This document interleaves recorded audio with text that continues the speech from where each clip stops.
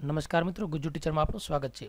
આજે આપણે આ વિડીયોની અંદર શીખીશું કે પિરિયોડિકલ ટેસ્ટ માર્ક એન્ટ્રી એટલે કે પ્રાથમિક શાળાની અંદર એકમ કસોટી જે લેવામાં આવી રહી છે, એ એકમ કસોટીના માર્ક્સ ઓનલાઈન અપલોડ કેવી રીતે કરવા? તો આ એકમ કસોટીના માર્કની એન્ટ્રી કોમ્પ્યુટર પરથી કેવી રીતે કરી શકાય અને મોબાઈલ પરથી કેવી રીતે કરી શકાય એ બંને રીતો આપણે અહીં શીખીશું. તો સૌપ્રથમ વાત કરીએ કોમ્પ્યુટર પરથી. તો સૌપ્રથમ ગૂગલની અંદર સર્ચ કરો એસએસએ ગુજરાત.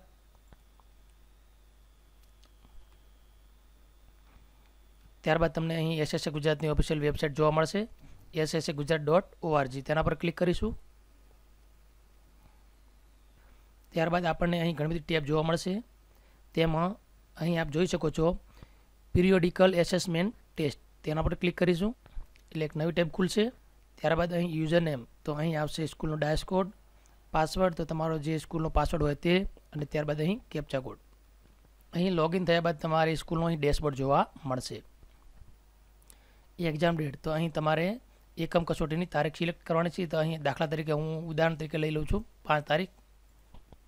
ત્યારબાદ વાત આવશે સ્ટડિંગ ક્લાસ એટલે કે તમારે જે ધોરણના માર્ક એન્ટ્રી કરવાના છે, તે ધોરણ અહીં તમારે સિલેક્ટ કરવાનું છે. દાખલા તરીકે હું અહીં કરી લઉં છું ધોરણ આઠ. ત્યારબાદ વાત આવશે સેક્શન તો અહીં તમારે ક્લાસ એટલે કે અ, બ જે હોય તે, તો અહીં હું બી સિલેક્ટ કરી લઉં છું. ત્યારબાદ અહીં આવશે સબ્જેક્ટ સબ્જેક્ટ એટલે કે પાંચ તારીખે જે વિષયની પરીક્ષા હોય, એ વિષય તમારે અહીંથી સિલેક્ટ કરવાનો રહેશે.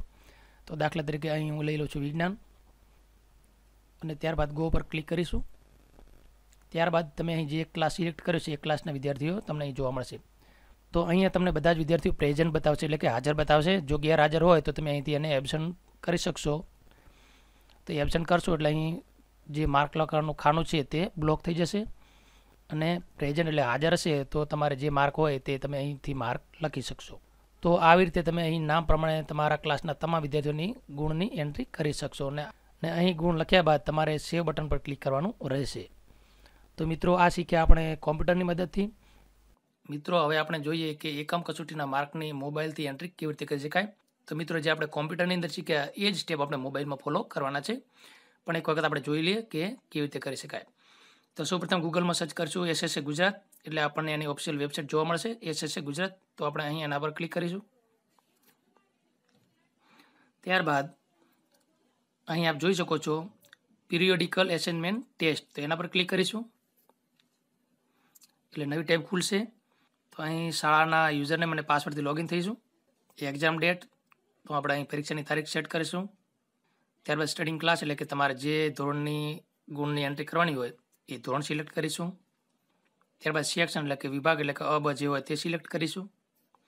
અને ત્યારબાદ સબ્જેક્ટ એટલે કે એટલે કે આ તારીખે જે વિષયની પરીક્ષા હોય તે વિષય સિલેક્ટ કરીશું. ત્યારબાદ ગો પર ક્લિક કરીશું. ત્યારબાદ અહીં તમને હવે તમારા ક્લાસના વિદ્યાર્થીઓનું નામ જોવા મળશે. તો અહીં જે વિદ્યાર્થીઓ હાજર છે તેના તમે માર્ક ઓનલાઈન લખીને અપડેટ કરી શકશો.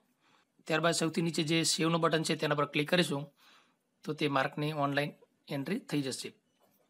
મિત્રો, વીડિયો ગમે તે લાઈક કરજો, તમારા મિત્રોને પણ શેર કરજો અને આવી જ માહિતી મેળવવા માટે તમે હજુ સુધી અમારી ચેનલ સબસ્ક્રાઈબ નથી કરી તો ચેનલને સબસ્ક્રાઈબ કરો, બાજુના બે લાઇકને પણ ક્લિક કરો.